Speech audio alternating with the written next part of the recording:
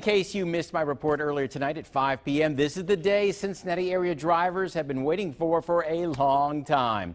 Tri-state drivers in Fairfield and some parts of Hamilton and Sharonville are now paying, look at that, less than three bucks. Regular is now 293 at the Fairfield Kroger and the Speedway and UDF on Pleasant Avenue. You can thank crude oil prices falling to $90 a barrel.